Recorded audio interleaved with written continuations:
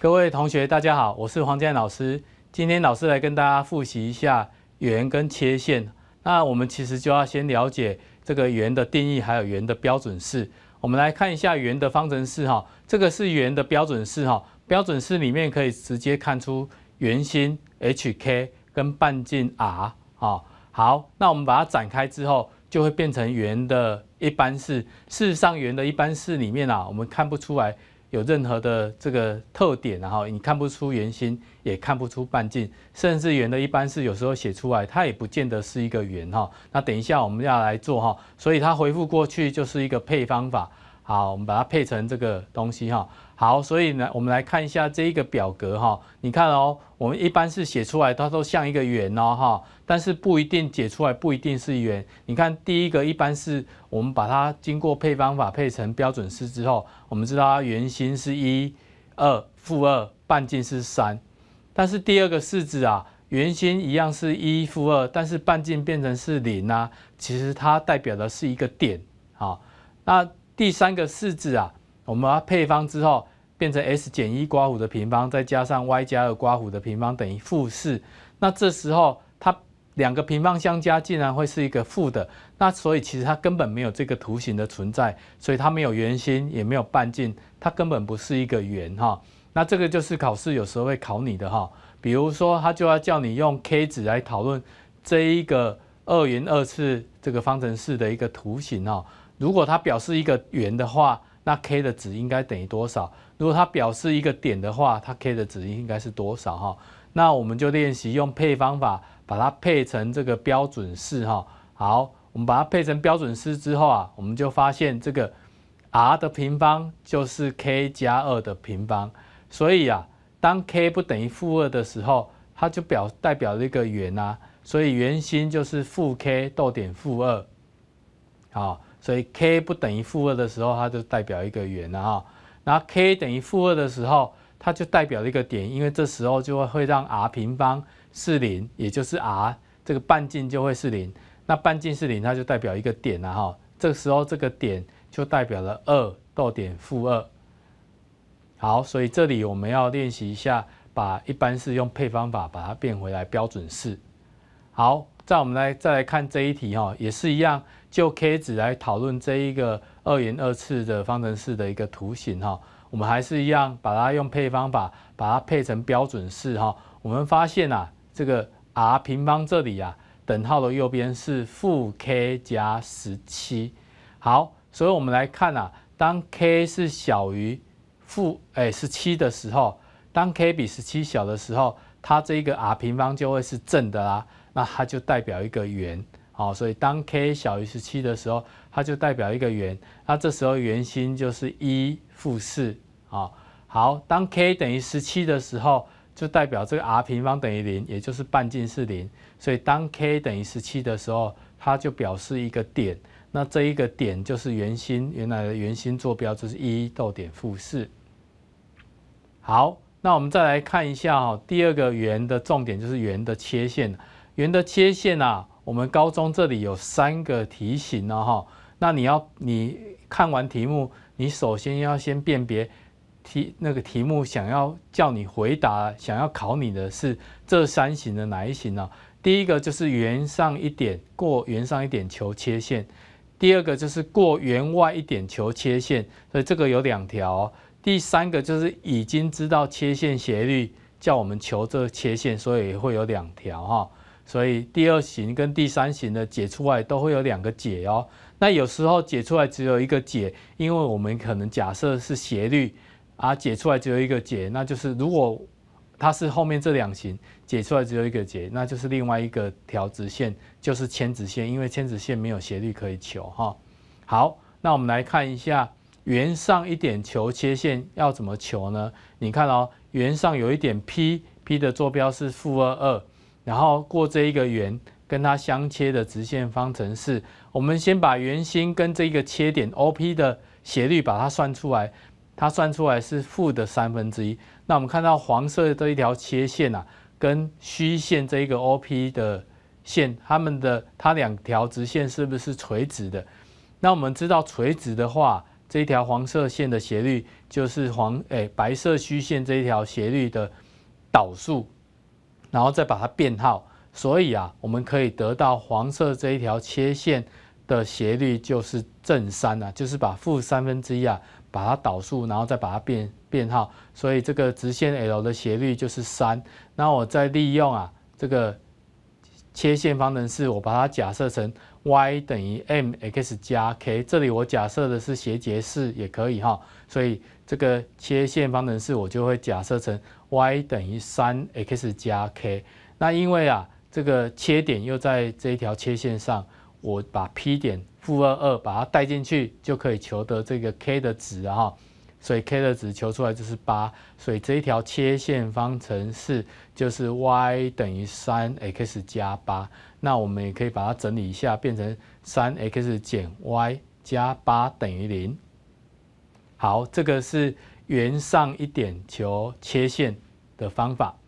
好，那我们再来看这个另外一个例题哦，这也是圆上一点求切线哦，一样，我们先把 OP 的斜率把它求出来是四分之三，所以黄色这条直线 L 的切线斜率。就会是导数把把它变号嘛，OP 的斜率导数再把它变号，所以它的斜率是负的三分之四。好，我再利用斜截式把它假设成 y 等于负的三分之四 x，再加上 k，那我再把 P 点三四把它带进去，就可以解出 k 了。所以 k 解出来也是八，所以我们就可以把这个切线方程式把它写成四 x 加三 y 等于二十四。好。第二型我们要求的是圆 y 一点求切线哈，那么这个圆 y 一点求切线求出来一定会有两条了哈，所以我们来解解看哈。他说这个 P 点是圆 y 一点是七逗点一，好，那我们其实要利用七逗点一到圆心 O 的距离啊，这来判断它是不是就真的在圆外哈。你看哦，我们把两点的距离公式一弄弄过来，它变成根号五十，这根号五十是。比这个半径五还要大的，所以这一点是在圆外，所以我们确定这一点它给我们的是在圆外一点。那圆外一点求切线，我们就可以假设切线斜率是 m，然后利利用这个斜截式把它假设成 y 等于 mx 加 k。好，那我们再把七一带进去，我们其实就可以把 k 的值把它求出来，它是一减七 m。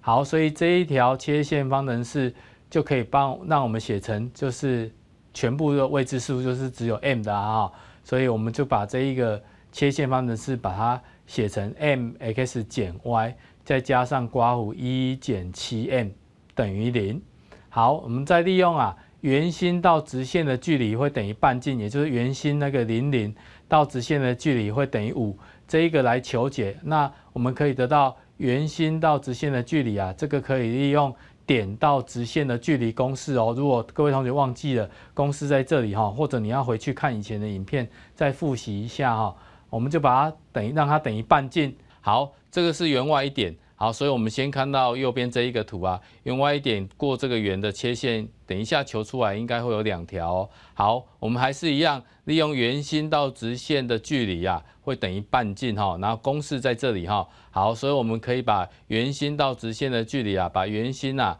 这个到这两条直线的距离把它算出来。所以如果这个直线方程式我们把它假设出来了，我们就可以得到。这个圆心到直线的距离是根号 m 平方加负一的平方分之 mx 减 y 再加上刮弧一减七 m 的绝对值等于五。好，那我们我们把它圆心把它带进去之后，我们就可以得到这样的一个式子哈。那我们再把它这个两边平方啊，就可以得到这样的 m 平方加一分之一减十四 m。加四十九 m 平方等于二十五。好，我们再把它交叉相乘啊，再把它整理一下，我们就可以解一个 m 的一个二次方程式哦。那我们把它这个再把它因式分解，就可以得到这个斜率 m 就会等于三分之四。或者是负的四分之三，那你看哦，这样也满足我们刚刚老师一开始跟你说，这个圆外一点求切线就是会有两条。好，我们再把它带进去直线方程式里面，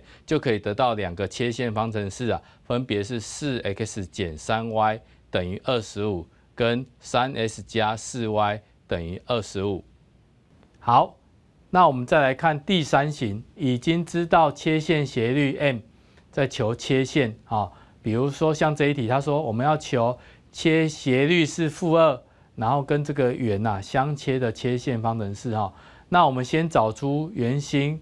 跟找出半径，因为它给我们的是一般式嘛哈，所以我们把它配方法。把它配成是标准式，我们知道圆心就是负三二，半径是根号五，啊，这里同学常常弄错哦，它等于五，这里同学常常忘记，这其实是半径的平方，所以半径是根号五，这个是同学要小心的地方。好，那一样，我们还是一样把这个切线方程式啊，斜率是负二，所以切线方程式就把它假设成斜截式 y 等于负二 x 加 k。也就是啊，二 x 加 y 减 k 等于零。我再利用啊相切的性质，就是圆心到直线的距离会等于半径来求值哈，所以就跟刚刚一样啊，利用点到直线的公式等于半径来求值哈。所以圆心是负三二，我们把它带进去，所以啊，我们就把这一个距离写成等于半径，半径是根号五，我们再把它两边平方，再交它相乘，就可以得到啊。k 的值是一或负九，那你看到我们解出来也是有两个解啊，那我们再把它带回去，两个切线方程式就分别是二 s 加 y 减一等于零，跟二 s 加 y 加九等于零这两个切线方程式。好，所以圆的切线的解题策略啊，老师帮你整理在这边哦哈，它总共有三个形式，那么第一步就是判别这个点，它叫我们求那个点。它是在圆上或是圆外啊，然后再把圆心跟半径求出来，然后啊，我们再假设直线方程式哦，这里我们都假设成这个斜截式也可以哈，然后再利用圆心到直线的距离等于半径来求解，就可以解出这个直线方程式了。好，以上就是老师跟大家复习圆跟切线。